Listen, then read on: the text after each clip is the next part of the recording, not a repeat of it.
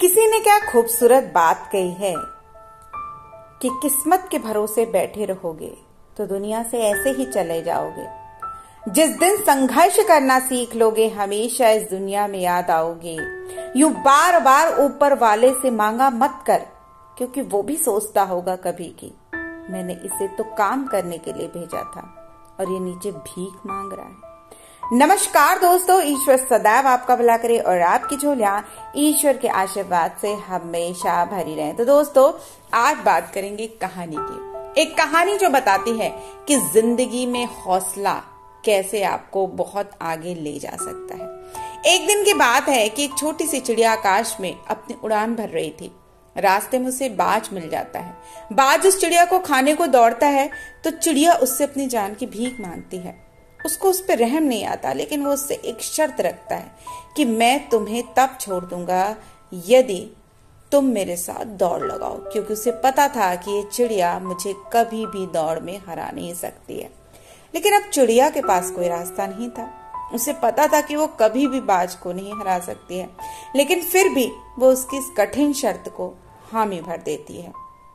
वो ये भी जानती थी कि उस बाज को हराना नामुमकिन है लेकिन फिर भी वो अपने सिर को हिलाती है और कहती है, ठीक है, मैं तुम्हारे साथ इस दौड़ प्रतियोगिता में ज़रूर चलूँगी। अब जो बाज रहता है, वो राज़ी हो जाता है। दौड़ शुरू होती है। जैसे ही दौड़ शुरू होती है, वो चिड़िया झट से उस बाज के सिर पे बैठ जाती है और जैसे ही वो बाज दौड़ के आखिरी स्थान पे पहुँचता है, वो चिड़िया झट से उड़कर उस रेखा के पार पहुँच जाती है और जीत जाती है। अब वो बाज भी उसकी चतुराई से प्रसन्न हो जाता है और उसको ज़िंदा छोड़ देता है और वो चिड़िया वहाँ से उड़कर अपने रास्ते को चले जाती है। ये कहानी बताती है कि परिस्थितियाँ जीवन में बहुत कठिन हो सकती हैं। इतनी कठिन हो सकती हैं कि ऐसा लगे कि अब इसके बाद कोई सहारा नहीं है। लेकिन जब हम अपनी समझदारी से, चतुराई से और मेहनत से और ईश्वर के भरोसे से काम करते रहते हैं तो वो मुसीबतें, वो विरोध, वो सब कुछ खत्म हो जाता है। विरोधी या कार्य आपकी क्षमता से ज़्यादा मज़बूत हो तो इसका मतलब ये नहीं है कि आप हार मान जाएँ, बल्कि समझदारी और धैर्य से बैठकर उस समस्या के समाधान के बारे में सोचें।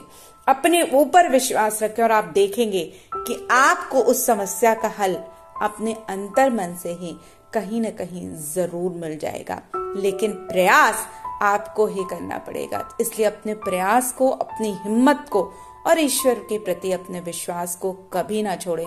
देखिएगा, ज़िंदगी में हर परेशानी आने के बावजूद भी सफलता आपको ही मिलेगी।